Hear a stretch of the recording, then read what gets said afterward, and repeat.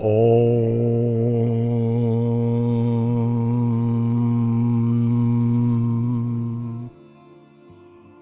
Tat Sat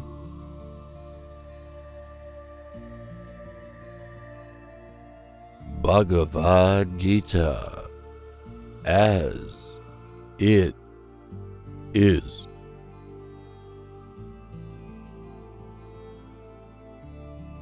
Chapter 5 Karma Yoga. Action. In Krishna Consciousness.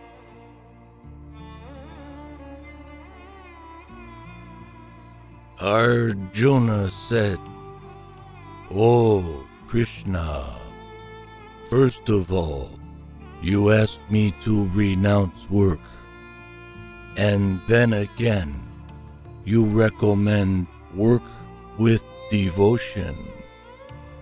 Now, will you kindly tell me, definitely, which of the two is more beneficial?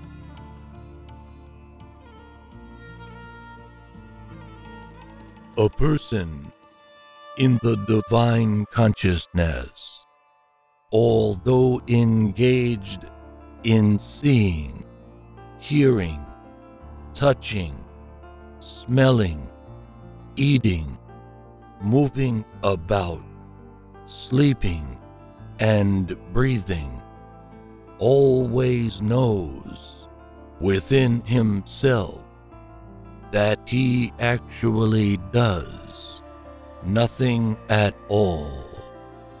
Because while speaking, evacuating, receiving, or opening or closing his eyes.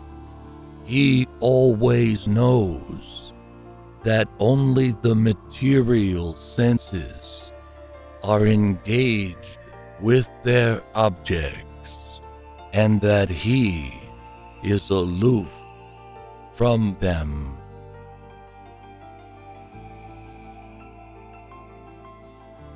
When the embodied living being controls his nature and mentally renounces all actions, he resides happily in the city of nine gates, the material body, neither working nor causing work to be done.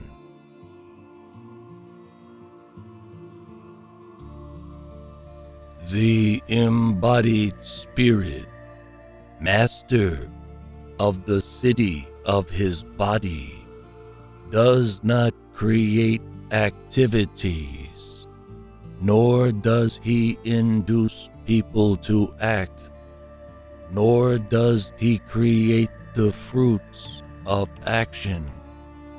All this is enacted by the modes of material nature.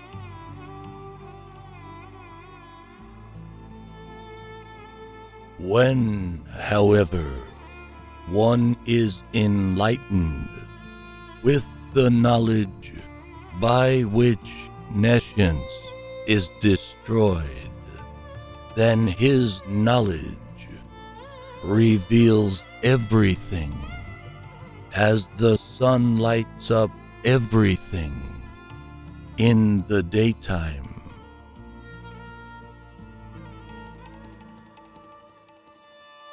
Those whose minds are established in sameness and equanimity have already conquered the conditions of birth and death they are flawless, like Brahman, and thus they are already situated in Brahman.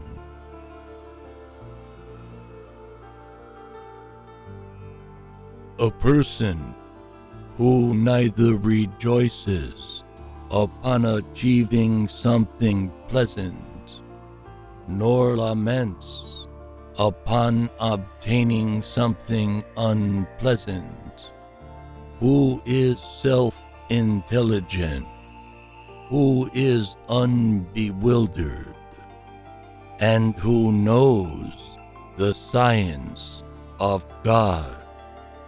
Is already situated in transcendence.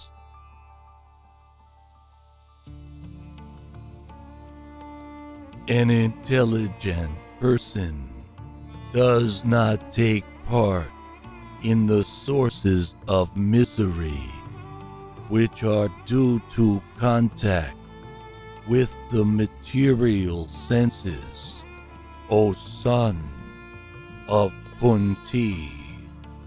Such pleasures have a beginning and an end, and so the wise man does not delight in them.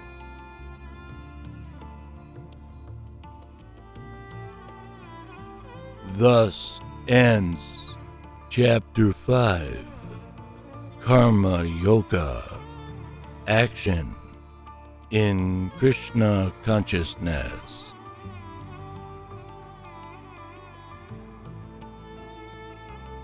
Bhagavad Gita as it is.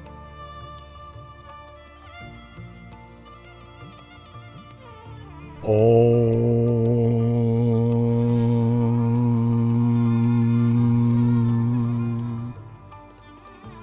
Tat Sat